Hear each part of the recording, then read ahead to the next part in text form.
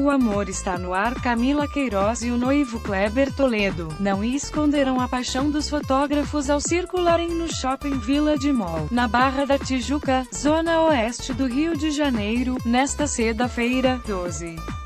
Antes irem ao cinema, os atores trocaram beijos e carinhos. Com o visual despojado, Kleber exibiu cabelo comprido para seu personagem Ilha de Ferro, nova série da Globo.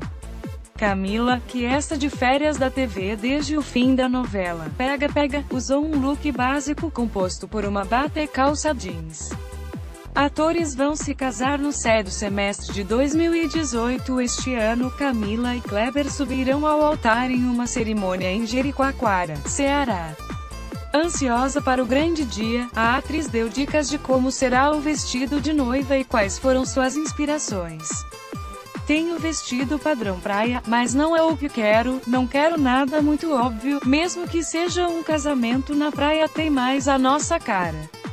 Eu quero misturar meu estilo mais romântico com clássico e ter um toque de praia deixar ele mais leve, afirmou em recente entrevista questionada sobre os ajustes para a festa. A artista afirmou que os gastos para um casamento podem ser bem exorbitantes. Quero uma festa média pequena.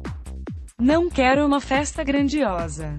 Até porque casar é muito caro, tudo que tenho visto tem valores assustadores. A gente quer poder proporcionar uma experiência diferente e legal para as nossas famílias.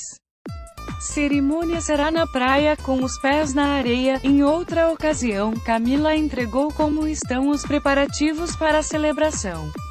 Está todo mundo esperando o carnaval passar para começar, então estou de mãos atadas. Não consegui resolver muita coisa.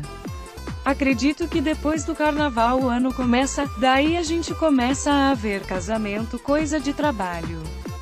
O vestido é Letícia Bronstein. A festa será na praia, descalço, com os pés na areia, só energia. Filhos está nos planos do casal. Camila falou ainda sobre o desejo de ser mãe. Tenho isso muito forte em mim. Acho que não vai ser agora, ainda vou casar e preciso me estabilizar financeiramente, se tudo der certo, vai ser em dois anos. Mas é Deus que escolhe, não é a gente ponderou a global por Patrícia